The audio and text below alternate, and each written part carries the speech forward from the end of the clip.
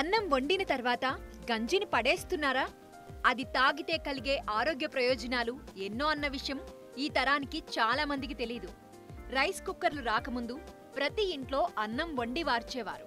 అలా అన్నం వార్చే సమయంలో వచ్చిన గంజిని కొంతమంది పెద్దలు ఉప్పు నిమ్మరసం బెల్లం ముక్క పచ్చిమిర్చి ఇలా టేస్ట్కి తగ్గట్టు కలిపి వేడిగా తాగేవారు. గంజిలో ఉన్న పోషకాలు శరీరానికి అందేవి దాహం తీరేది. అయితే కాలంతో పాటే వచ్చిన మార్పుల్లో భాగంగా వండే విధానంలో అనేక మార్పులొచ్చాయి. గంజిని పక్కన పెట్టి టీ కాఫీలు చేరాయి.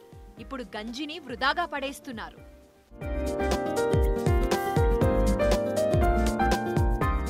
గంజి శరీర ఉష్ణోగ్రతను నియంత్రిస్తుంది.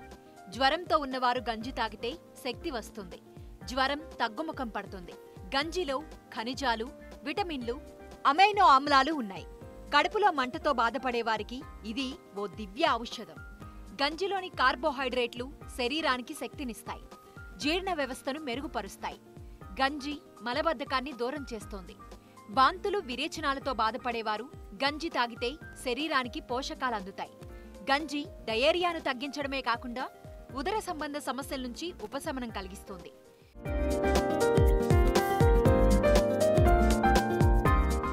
గంజితో ఆరోగ్యంతో పాటు ముఖవర్చస్సు పెంచుకోవచ్చు.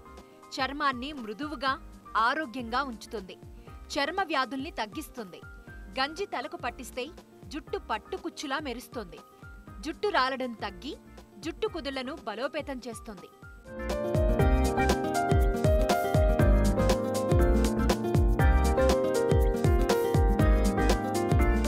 Top nine news. ప్రతిరోజు ఉదయం ఆరు గంటల యాభై ఐదు నిమిషాలకు మీ టీవీ నైన్లో నంబర్ వన్ మాత్రమే కాదు అంతకు మించి.